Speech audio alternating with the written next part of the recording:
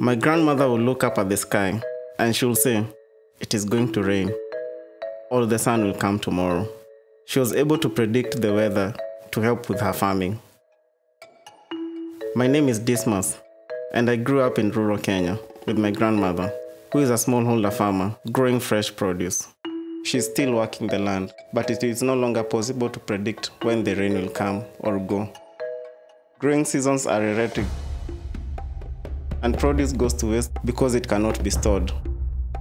Whole communities are being destroyed because the climate is changing. I knew I had to do something, but not in my wildest dream will I have ever imagined doing what I'm doing now.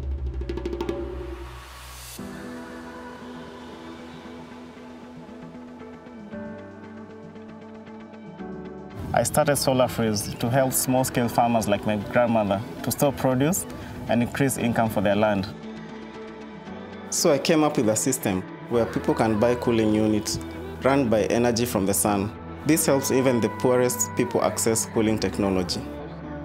We work with young people from agricultural families as well as in refugee backgrounds, especially women to install, operate, and maintain these cooling units. Our main focus is to create a pool of competent technicians who can work on our solar technology. We can then use them across the green economy.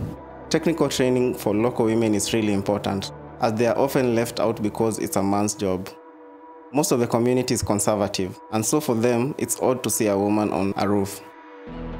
It has been easy to get people involved, as there is a lot of curiosity about this new technology.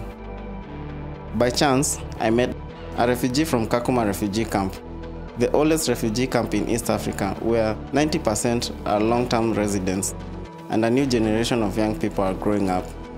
Most of the shops had no access to energy or electricity, and those that did were reliant on diesel generators. When we brought the solar freeze chest freezer to the refugee camp, we assumed it will be used for storing fresh produce.